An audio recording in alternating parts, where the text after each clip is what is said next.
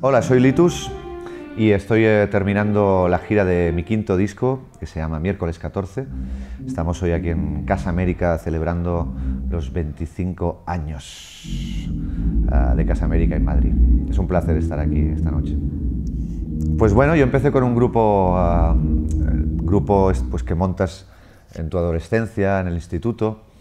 Ah, hicimos dos discos que para mí fueron, fueron mi escuela mi primer contacto con un estudio de grabación, mi primer contacto con, con el trabajo en equipo, ¿no? trabajo entre músicos. Y eh, bueno, me quedé eh, enganchado a eso y luego tuve una, una etapa componiendo para otra gente, mm, tocando para otra gente y a partir del 2006 empecé mi proyecto propio como Litus y, eh, y bueno, pues eso, llevo ya cinco discos y unos 12 años, si no me equivoco, girando con, con mis canciones.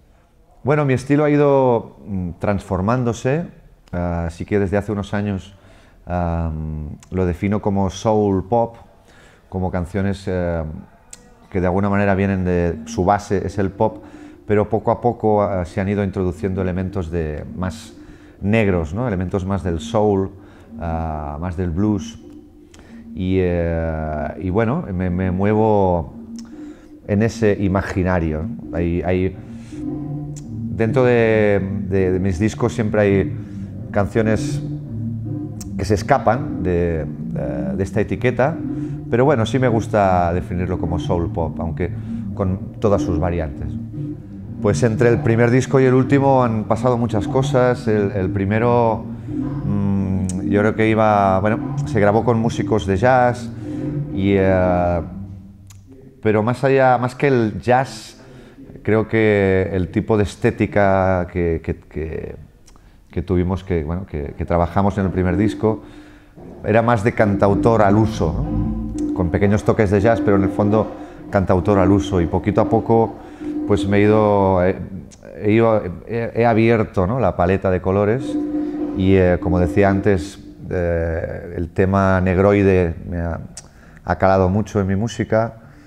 Mm, de alguna manera poder permitirme cantar con una voz más desgarrada, más, eh, no tan apagada, sino un poco mm, meterle más, morro y meterle más, más hostia. este último yo creo que ha recuperado algunos elementos de, de mis inicios, pero sin duda eh, pues hemos eh, seguido la estela de este soul pop del que, del que os he estado hablando. Pues sí, sí, a mí la... De hecho, hace unos años estuve de gira por, por Venezuela y hoy eh, recuperaré una canción que aprendí en Venezuela, una canción típica de ahí, muy bonita, que yo la transformé, la llevé a, mi terreno y, le he dado un toque de habanera quizá un toque un pelín de, bueno, con eh, tintes de bolero. Pero sí, a mí siempre me ha gustado eh, la música sudamericana, ¿no? Y tengo muchas influencias de, de Sudamérica, desde Fito Páez, desde Calamaro, uh, Spinetta.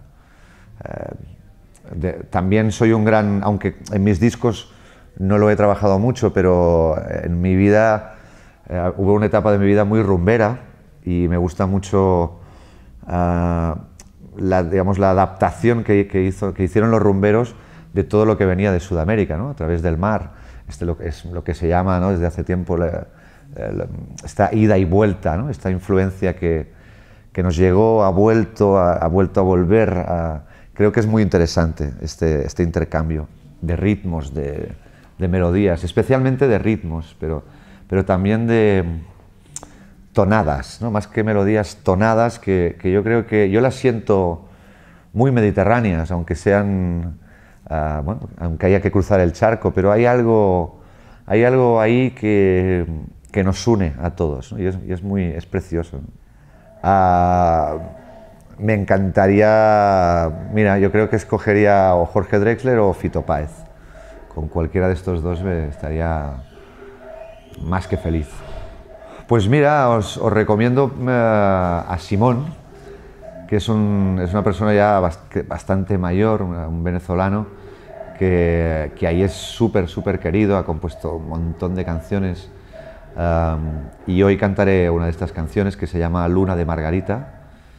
Y eh, como curiosidad, yo creo que eh, nos llegó aquí um, Caballo Viejo, que, nosotros la conocemos como bambolero. Y que la conocemos más como una rumba de los Gypsy Kings, pero que es una composición de, de Simón y os lo recomiendo encarecidamente.